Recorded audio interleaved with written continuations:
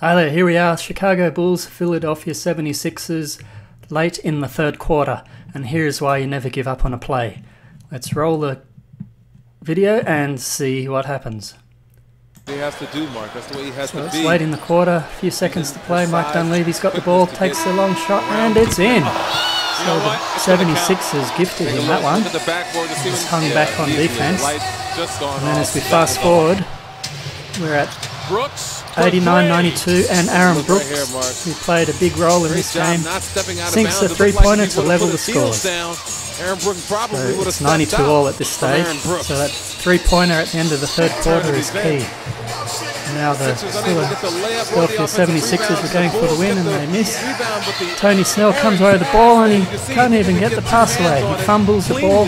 76ers are in with a chance. Now we're into overtime. Aaron Brooks, two points for him there. Pau Gasol, Gasol. the second top scorer for the Bulls, two minutes to playing play. big. Just buckle down on Now the Aaron Brooks end. back to Gasol Gasol for against another Noel. two points to him. Wasted little time 98 getting back up the 94 now Aaron Brooks. Here he goes, a layup. Brooks. Gotta sit down one time here. Now 100 to 94, Aaron Brooks has the ball. One minute, 12 seconds to play. Quickly the other way.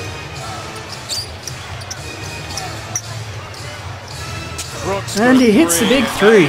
So the Bulls run away with it in overtime, and we see Aaron Brooks who hit that three with a season high 31 points in those two to give the Bulls an overtime win.